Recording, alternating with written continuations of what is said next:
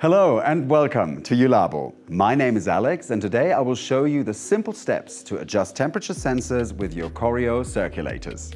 This feature is called ATC function, which stands for Absolute Temperature Calibration. Due to physical reasons, a slight temperature difference between the temperature sensor in the Corio and a defined point inside the bath might occur. To compensate for this, you can use the ATC function. Let's have a look how that works. First, with the Corio CD. The Corio is heated to 32 degrees Celsius and a sample is placed into the bath. Now we need an external temperature sensor to check the defined point inside the bath. For an accurate reference, please wait a few seconds. The temperature sensor shows a temperature of 32.02 degrees Celsius, so we need to compensate the difference of 0.02 degrees Celsius. Press the hidden service and the down arrow button at the same time until the decimal point flashes. Enter the reference temperature of 32.02 degrees Celsius and confirm with OK. The calibration value is applied directly and the display shows CAL for confirmation. The entered reference temperature must be within plus minus 5 degrees Celsius of the set point.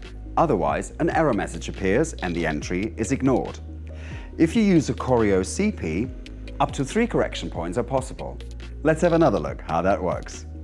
The Corio CP is heated to 32 degrees Celsius as well and a sample is placed into the bath too. Again, we need an external temperature sensor to check the defined point inside the bath. We wait a few seconds and the temperature sensor shows a temperature of 32.01 degrees Celsius. So we need to compensate the difference of 0.01 degrees Celsius. Choose the submenu ATC and select Type.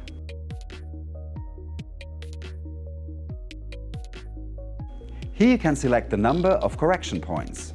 For our example, we choose 1. Exit the menu and start your Corio with a desired set point. We choose 32 degrees Celsius again. In the submenu ATC, we select our correction point CT1 and enter the read reference temperature of 32.01 degrees Celsius.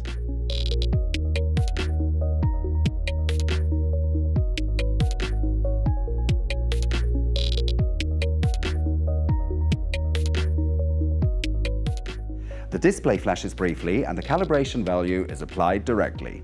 That's it. I hope this short tutorial was helpful for you. If you need more details or if you have any questions, please feel free to contact us at any time. Thank you and see you soon.